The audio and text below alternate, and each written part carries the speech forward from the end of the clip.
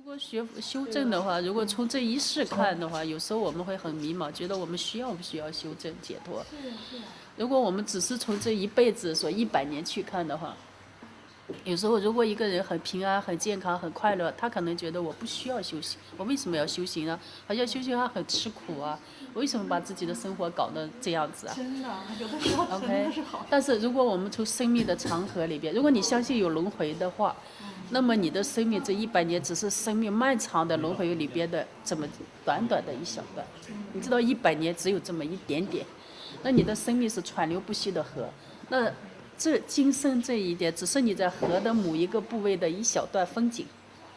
那 OK，你想让这条河流下去的话，那那可能你就需要修正，因为我们的快乐会被打击碎，我们的平安会打破。就是说，即使我们现在生活在物质优越、能够吃饱穿暖这么和平的时代，但是有一天我们可能突然我们会遭遇天灾人祸。我可举个例子，我们可能会断条胳膊断条腿，我们可能我们会生活的很辛苦。所以佛在来来到人道，他在讲佛法的第一件事，他叫苦地。因为众跟人讲没办法讲，怎么讲呢？他如果不苦，他是不愿意修行的。大家都就像天人一样很快乐，我为什么要修行啊？修行是很枯燥、很很辛苦的一件事。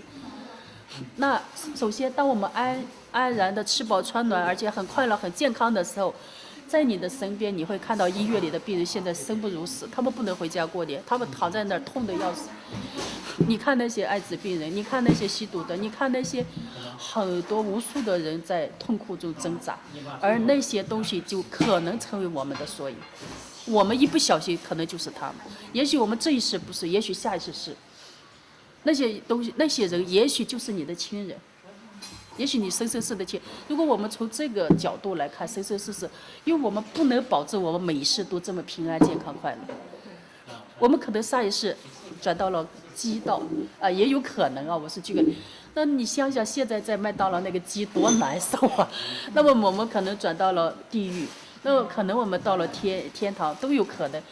但是你要知道，从我们开始有生命以来，到我们现在二零一一二年今天为止，我们在六道不知轮回多少几百次，因为我们都待过。你只是忘记了你的痛苦。如果你不能出离这个轮回，痛苦迟早会来。快乐永远是短暂的。可能你这一百年好，你的善报成熟了，你这一百年都很快乐，你这一百年都是啊享受啊，都在享受中度过。你知道你那些福报享受完了，等你的是什么？可能我们三世都在享受之中，三辈子我们做一个帝王。有的人说哦，有福报，我三辈子都是当皇帝的命，OK，享受的更快，你的你的善报消耗的更快。那下你要知道第四次等待你的是什么？嗯这就是释迦牟尼佛为什么带着阿难。阿南说怎么样怎么样啊？带着阿南说，先带他上天上，天人啊，很多的女的，五百个女的在那儿开开心插一个法座，告诉阿南说，说阿南说干什么啊？说哎呀，等着阿南死了要上升到这儿做这个啊天天主啊，阿南开心的啊。然后从那儿做完了一会儿带他下地狱了，然后人家烧油锅，说你们烧油锅干啥？阿南在天上消完福报下来就要下油锅。生命的无常就是这，这个是个笑话。可能我们看到经典看过去就忘了，这是事实。当你们的福报享完的时候就下去了。当你的福报享完的时候，你的善缘了了的时候，面对你的就是逆缘，就是就是苦。六道真实不虚。对我们人类来讲，它在时空的轮回里真实不虚。而我们生生世世不知下过多少次油锅，我们生生世世也不知享受过多少天主的快乐。而我们生生这一世，我们转为了人，我们不知道，我们很迷茫。我们为什么我们不知道很多事？因为我们没有智慧。如果我们站在释迦牟尼的角度，站在很多佛学的角度去看，我们人类，我们是很愚钝的，就像机器人木偶被因果支配着，就像木偶一样被因果抽的，你都不知道为什么我明天会遇到那件事，你觉得是很偶然的，其实它就是个必然。这就是我一直跟他们说，不是偶然的东西。当这个当这个胳膊拿起来往下滑动的时候，它一定滑到这个地方，这是个惯性。当你明天走到那个的，它就像你今天已经到了这个位置上的时候，它明天一定到这个位置。嗯有些东西是避不开，有些这是个因果里边的东西啊，可能只不过是你你理解了善缘，当你这个抓到正的时候，有一个力量把你推开了，嗯那可能就是老师或者觉得你这个不好，诸佛菩萨觉得哎有一个力量，但你的事是这样的，嗯因为生生世世就像我这个，就只不过是慢动作，我这样子拿起来，这样子落下去，这可能代表我们生生世世啊，我们。你这一世所所遭受的每一件事，都是来自于上一世这样的一个惯性。如果把上一世当成我前半部分这个这个时空，因为在时空里是按光年计算，那我们的一百年算算多点儿？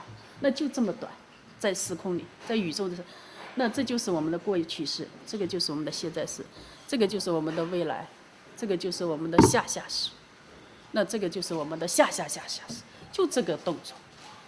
它是连贯连贯出现的，只不过是在如果我们学佛的人说改变业力的是啥？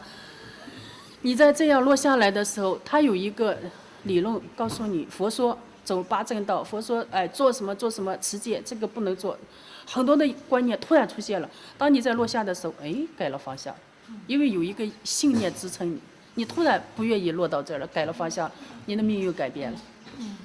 OK，或者是你有一个老师，他知道你这个手落到这的时候不好，他把你碰碰碰到一边去，或者是有一个助缘，不管他有什么方法，他让你改变了方向，这都是改变命运。没有什么不都，就说，如果单纯的看我们人类的一百年，我们没有必要修行，因为我们很快乐、很安心，我们可以过得啊很美，尤其在现在的和平时代。我们也嗯，虽然有天灾人祸、有战争、有海啸、有地震，但是好像离我们很远啊，好像我们在珠海比较安全的，好像喊大家最起码今天又过年了，大家又要吃糖，呃，吃橘子，明天会不会呢？也不知道。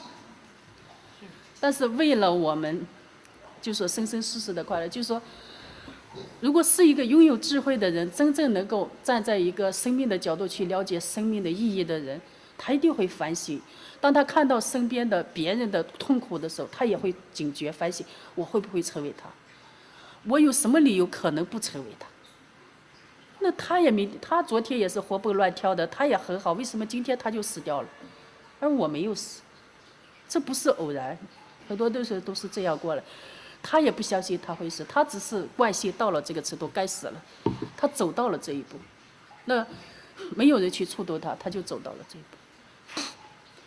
所以我们越了解的对宇宙人生了解的越多，对这些真理，我们越知道修行的必要。没有什么，我觉得呃，因为人具备了修行的潜力，因为只有人道的众生可以去反省这些东西，可以看到苦也看到乐，而且又有时间跟精力来修行。而且我们呃，从下一世开始，或者做做不做人，我们都真的不知道。而人这一百年，真的，其实我们很快乐，很快乐，也很短暂，是不是？一百年很容易过去的，一百年我们已经说的长了，是不是？我们一个人能活到一百年，我也不知道。